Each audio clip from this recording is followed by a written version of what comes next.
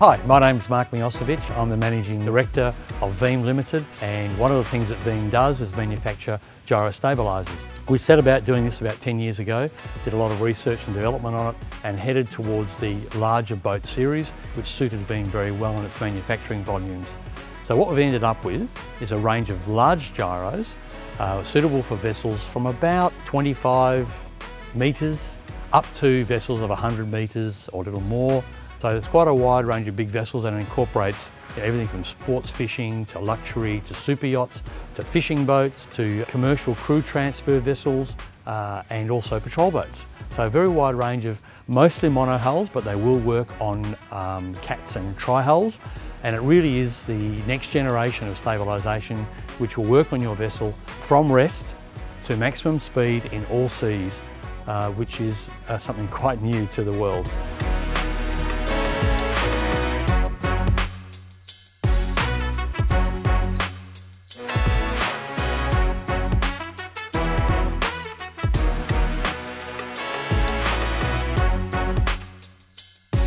So let me tell you about this beast. So this has got a six and a half ton flywheel inside it, spinning around at thousands of RPM, and the boat will attempt to roll and the ball inside it will rotate or produce a counteractive torque and that will limit the roll of the vessel.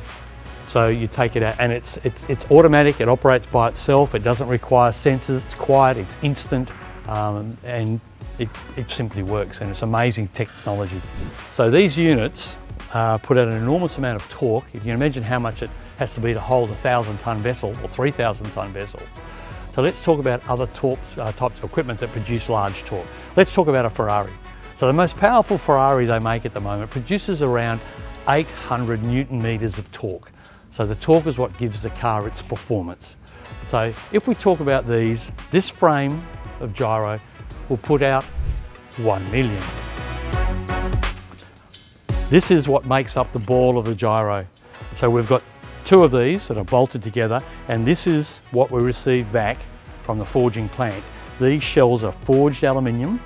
When I say forged, there's an enormous amount of power required to forge something this large. In fact, we could only find four forging plants in the world that could do that. It takes 46,000 tonnes of force to forge this unit. So we then get this from the forging plant and we put it in our machinery here at Veem and we machine into one of the balls and each of the balls is in there. So two of these to make one ball. Now if you come with me further, I'll take you over and I'll show you what's inside the balls that's all the fuss. So that is these. These are forged flywheels that go inside the gyros and they spin at thousands of RPM creating that torque. It's a forged component these ones are for the second largest size we've got, and they're six and a half tonnes. The bigger one has a, nine and a half tonne flywheel. Enormous amount of weight that goes in, but it is an enormous amount of force we have to create to stabilise such a large vessel.